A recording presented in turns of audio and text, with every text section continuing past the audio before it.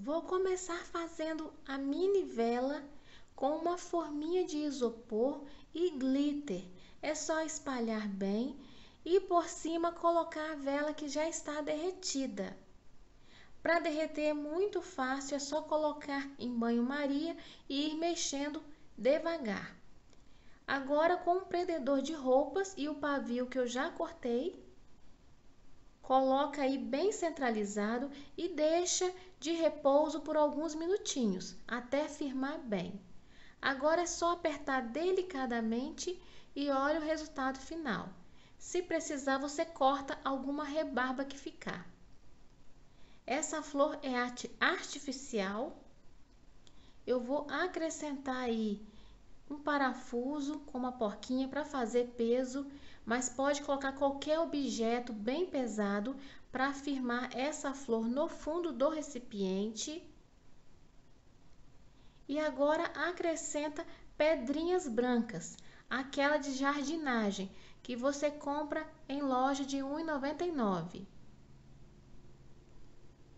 Coloca bem espalhado para esconder essa parte aí de baixo e aparecer apenas a flor e as pedrinhas. Acrescenta a água delicadamente e aí já está quase pronto para colocar a velinha. É só colocar devagar para não cair água em cima da vela e acende e fica assim. Na outra ideia, eu vou utilizar suquinho de morango para colorir a água e dar um efeito diferenciado. A dica aí é colocar pouco suco para que a água fique bem transparente.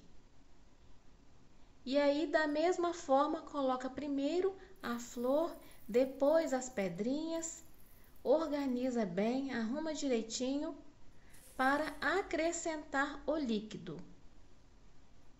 Se você quiser, pode colocar bolebas, qualquer outro material aí que dê um charme a mais a essa decoração.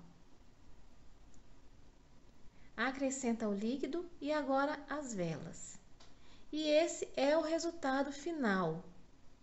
Observa que eu fiz no pote, fiz na taça, fiz num outro potinho arredondado.